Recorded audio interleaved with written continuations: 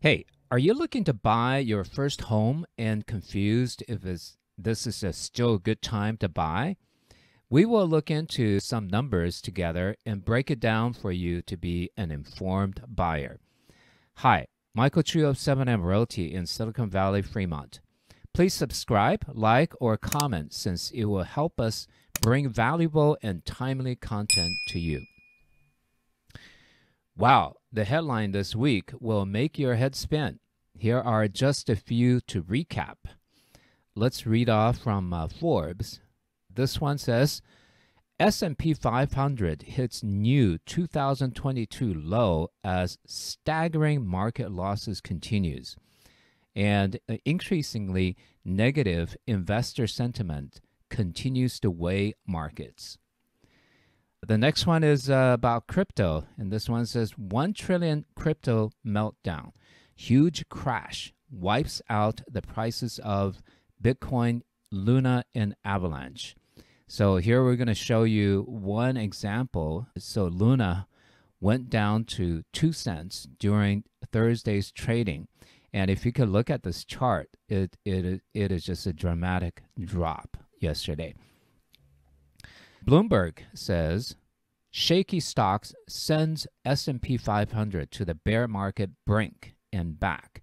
So S&P 500 ends down 18% from its all-time high on January 3rd. And also, drop of 20% in stock often signals pain for the real economy.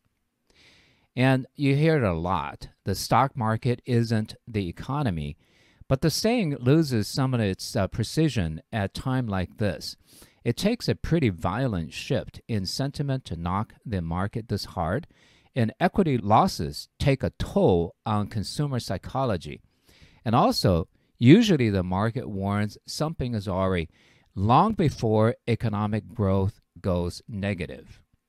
Next thing, of course, is Federal Reserve Chair Powell reaffirmed that the central bank is likely to raise interest rate by half a percentage point at each of the, its uh, next two meetings while leaving open the possibility it could do more.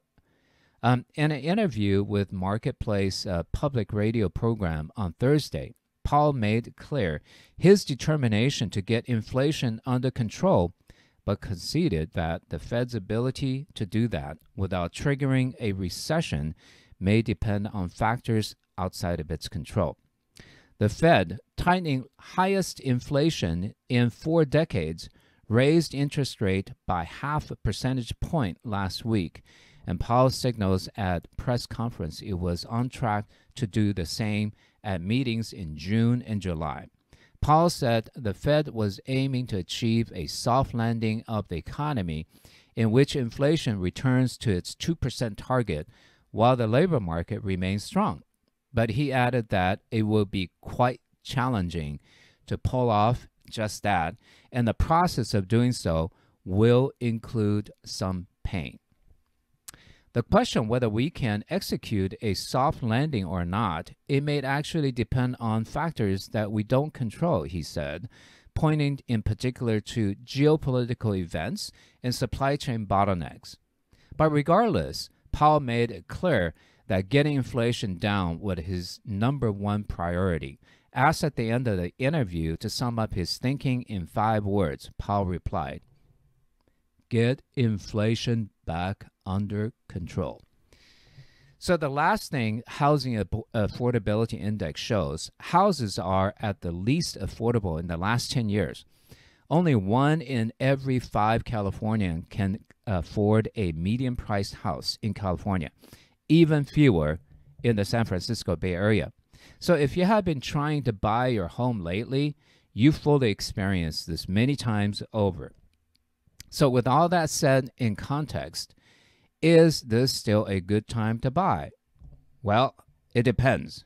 Well, don't you hate it when people say that? I know I do, but it really depends on your personal situation. What are the pros and cons of considering buying in this environment? Well, the pro is less competition, less competition, and yes, less competition. With high rates, there will be fewer people competing for the same home that you want. We have already seen this in the April timeframe. Houses usually uh, get double digit multiple offers, and now they are down to within five offers. Not to say completely there's no competition, but obviously less than prior to the rate hike. With the NASDAQ down, which includes some of the largest tech companies locally, that may have equities, right? So that will also eliminate some competitions, especially in the two to four million dollar range. Usually, buyers would take a large cash out position to make purchases.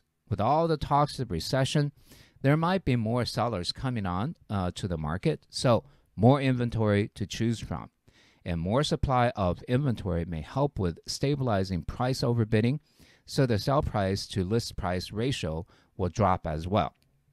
So, does it make sense to buy if you are currently renting and really need a larger space for your life events, like you're getting married, like having a child or another child, or your in laws are coming in to move in with you, or if you need uh, extra office space for that uh, work from home situation.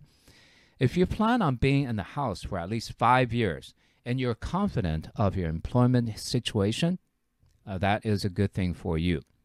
Now, the cons, of course, it is the higher rates means higher monthly payment to qualify for the same mortgage. The difference is around $600 or so uh, for every $500,000 you borrow in borrow money. So at the median price of uh, $1.5 million or so, that could be meaning like extra $1,800 in payment. So definitely, ouch. There are some solutions to lower these payments. Rising mortgage rates, uh, together with uh, surging home prices, have made adjustable loans look more attractive, especially as a first time home, buyer to trying to crack into the housing market that has been running hot for two years. In the latest readings from Freddie Mac, a traditional 30 year loan jumped to 5.3%, the highest since July of 2009. Meanwhile, the average 5-1 adjustable rate mortgage, which has fixed rate for the first five years and then can vary based on the market condition, is at 3.98%. In a rising rate environment, thinking adjustable rate are on the table, but you have to be careful, said Nela Richardson, chief economist at ADP. What they do is take the risk of rates rising and pass it on to the consumer. So, what's the case for getting one if you want a lower rate now? The main advantage of an adjustable rate mortgage is a lower initial rate, which can reduce borrowers' monthly payment for now. As uh, of right now, the savings on an adjustable rate mortgage are quite significant, says Taylor Marr, Deputy Chief Economist for Redfin. Some of these buyers are looking for ways to cope with rising uh, mortgage rates, and opting for a 5 1 adjustable rate mortgage is a way to do that.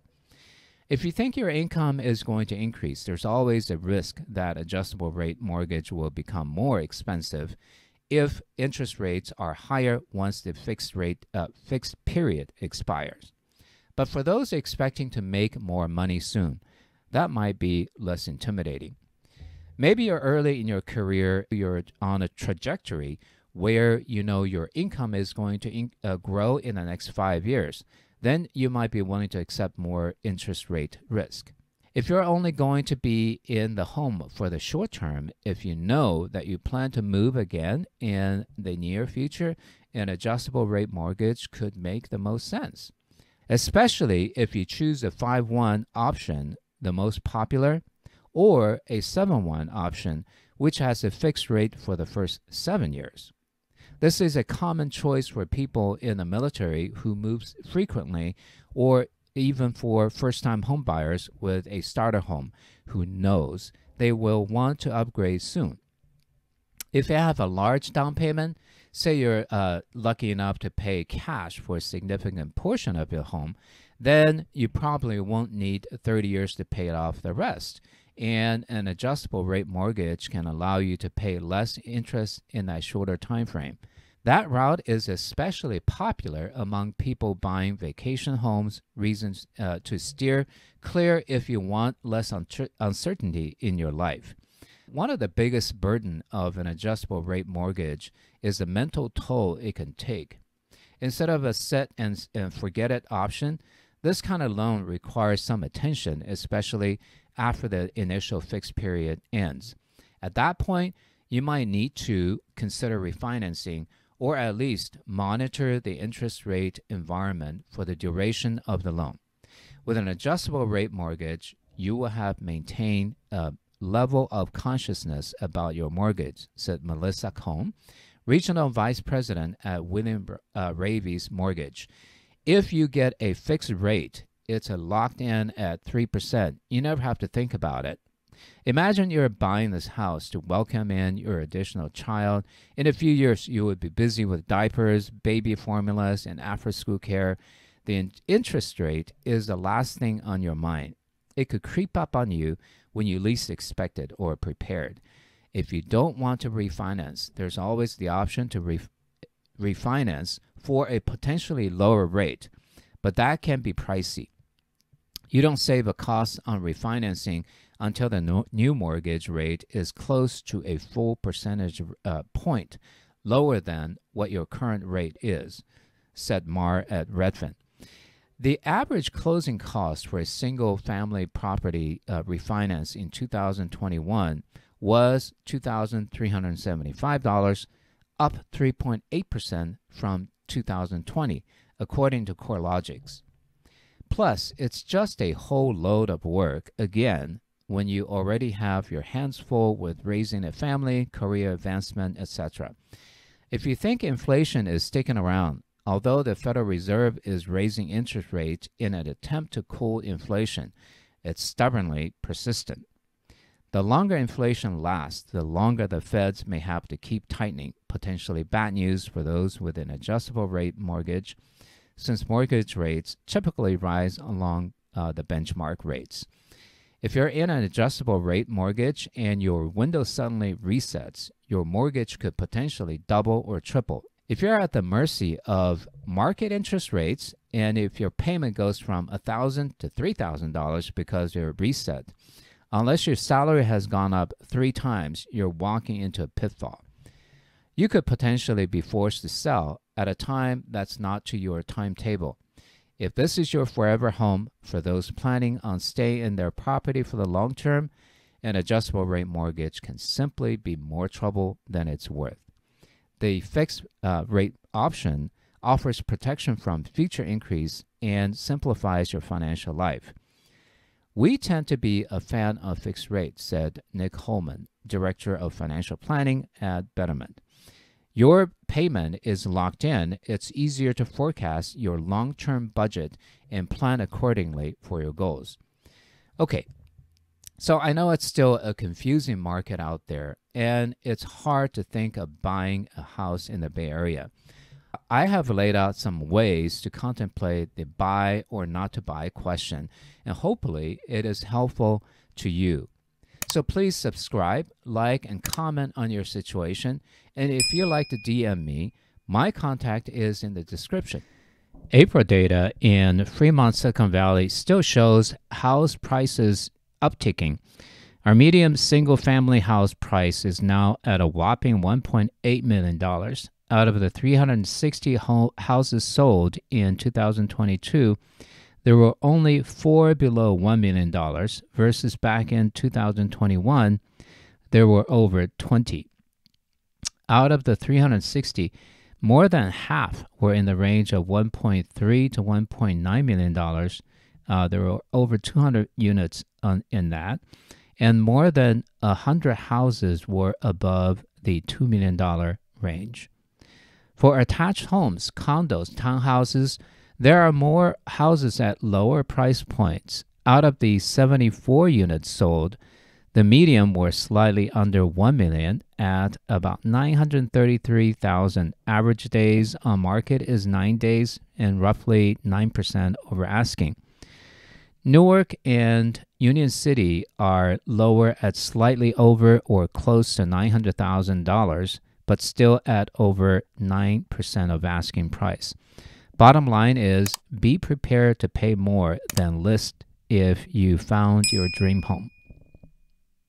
I have laid out some ways to contemplate the buy or not to buy question, and hopefully it is helpful to you. So please subscribe, like, and comment on your situation. And if you'd like to DM me, my contact is in the description. Till the next time, let's make it a great day.